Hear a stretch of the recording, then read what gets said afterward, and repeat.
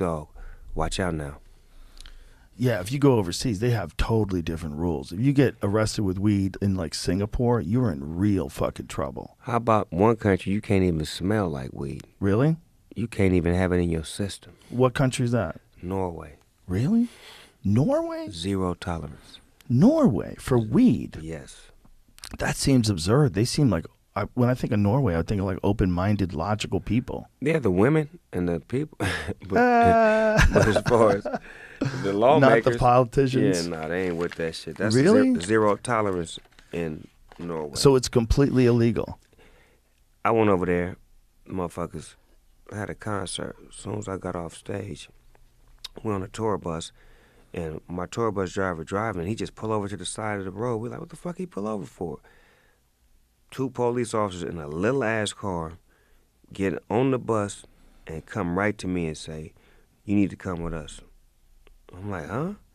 You need to come with us." So the car is so little, can't nobody ride with me. So I got to ride with them to the police station. They tell me, either you're gonna give us some blood or you're gonna pee in a cup. Oh. But we need to see if you got any drugs in your system. So I pee in a cup, do the show, come back like maybe six months later.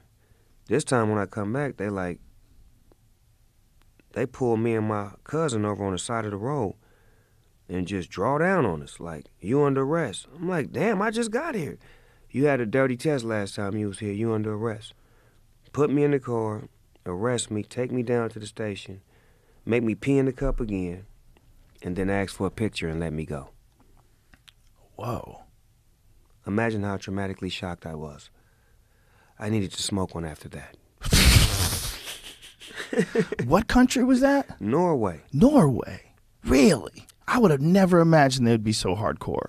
Oh yeah. I would imagine Norway would be pretty like I, I you know it's like I think of all those people I think of like Holland. Yeah. that- Right? Yeah. Uh. Uh. Netherlands. Is I know they're not close to each other, but I'm an ignorant American. Netherlands is lovely. You don't have no problems over there. They don't even got. Look, they police cars so little. Somebody.